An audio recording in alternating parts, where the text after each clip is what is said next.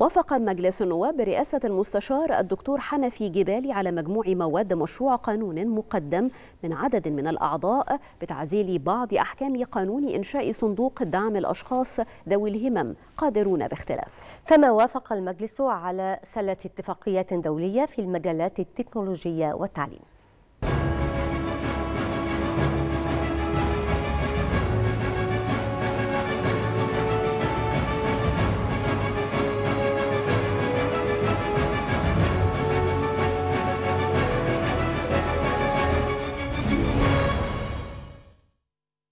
مجلس النواب استأنف جلساته العامة برئاسة المستشار الدكتور حنفي جبالي لمناقشة مشروعات القوانين والاتفاقات الدولية. الجلسة تضمنت إحالة مشروع قانون بشأن مكافحة زواج الأطفال إلى لجنة مشتركة من اللجان المختصة لدراسة وإعداد تقرير بشأنه، كما تم الموافقة على قرار رئيس الجمهورية بشأن الموافقة على الاتفاقية المبرمة بين حكومتي القاهرة والرياض بشأن استثمار صندوق الاستثمارات العامة في مصر. المزايا الموجودة في هذه الاتفاقية بما توحي لنا بمزايا متبادلة ما بين الدولتين الشقيقتين سواء لصندوق مصر السيادي داخل السعودية أو لصندوق الاستثمارات العامة السعودية داخل جمهورية مصر العربية فهو أمر مطلوب ومحمود في هذه الفترة خاصة في الأزمة الاقتصادية. العلاقات والجسور بين جمهورية مصر العربية والمملكة العربية السعودية فيما سبق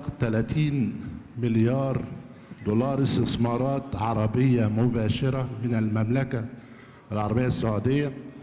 أيضا تجارة بين الدولتين تصل إلى 14 مليار دولار مناقشات مجلس النواب تطرقت أيضا لمشروع قانون لتعديل بعض أحكام قانون إنشاء صندوق دعم الأشخاص ذوي الهمم لتعديل اسمه لصندوق قادرون باختلاف بالإضافة لتوسيع اختصاصات الصندوق حيث تم الموافقة على التعديلات من حيث المبدأ في مجملها وتم تأجيل أخذ الرأي النهائي لجلسة قادمة. تم النص على دور الصندوق في تشجيعهم ودعمهم لإقامة مشروعات متوسطة وصغيرة ومتناهية الصغر.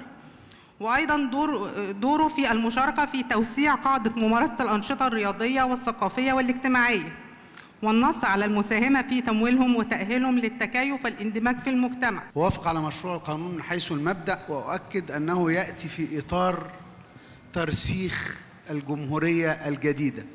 الجمهورية الجديدة ليست فقط ببناء وإنشاءات نراها جميعا كل يوم في كل شبر من أرض مصر.